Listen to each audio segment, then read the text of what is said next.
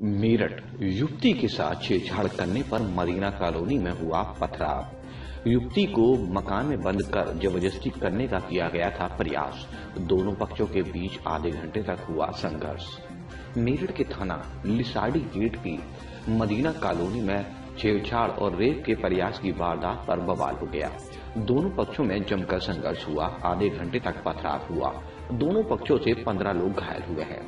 सूचना पर पहुँची पुलिस को भी जान बचा कर पीछे हटना पड़ा। बाद में थाने से अतिरिक्त फोर्स बुलाया गया। घायलों को पुलिस ने अस्पताल पहुँचाया। इस मामले में दर्जन भर आरोपियों के खिलाफ तहरीर दी गई है। मदीना कॉलोनी के समर गार्डन क्षेत्र में जहीरुद्दीन किराए पर रहता है। इसी मकान में एक अन्य महिला भी परिवार के साथ किराए पर रहती है।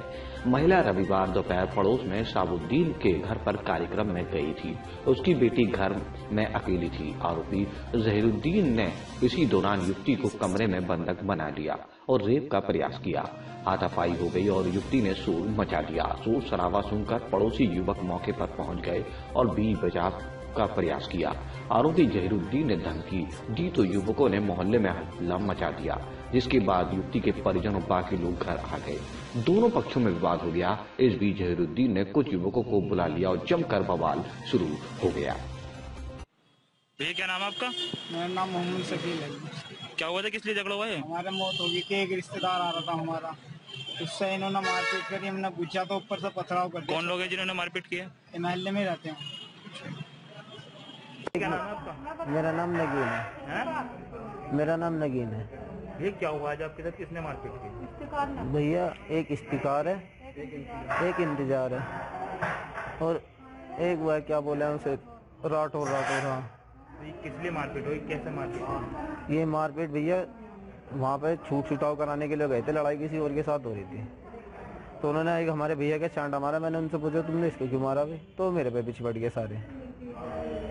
तो आपके सर पे किस चीज़ से वार किया गया है? किस तरीके मुझे नहीं पता जी मैं तो भीड़ में था एकदम से वो नहीं होता फावला जिससे खपावड़ी जिससे लोहे की जो होती है। लोग थे वो जो इन्होंने मारपीट किया है? ये तो कम से कम पंद्रह सौ लेते हुए तो। कहाँ के रहने वाले हैं? मदीना कॉलोनी के रहने वाले हैं।